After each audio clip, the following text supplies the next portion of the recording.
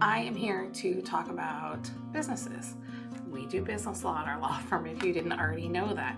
So, one of the things you want to think about is well, what happens after I file my articles of organization or my articles of incorporation with the state? So, you filed your initial paperwork to have your LLC or your corporation. Now, what?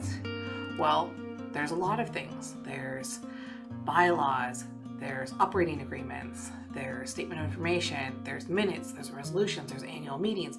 There's all sorts of things that are involved past that initial filing. And I think sometimes it becomes a little false or misleading that it's very easy just to file out paperwork, but there's so much more. And the reason there's so much more is you want to do all those things to avoid that dreaded idea of breaching the corporate veil. And that idea is that you filed for this company, the state, either a corporation or an LLC, in order to avoid liability for yourself, right? If something happens and your business is sued, your business has to pay, not you.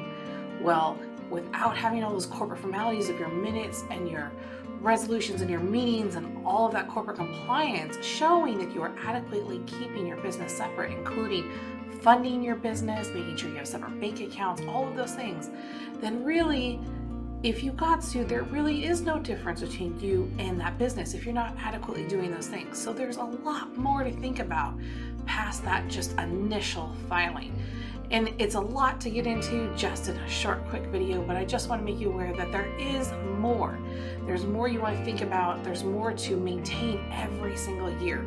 So it's something that we can help you with. We have packages to make sure that you are corporate compliant and you maintain that. And we also love to teach you how to do that yourself so that you don't have to come back every year if you don't really want to.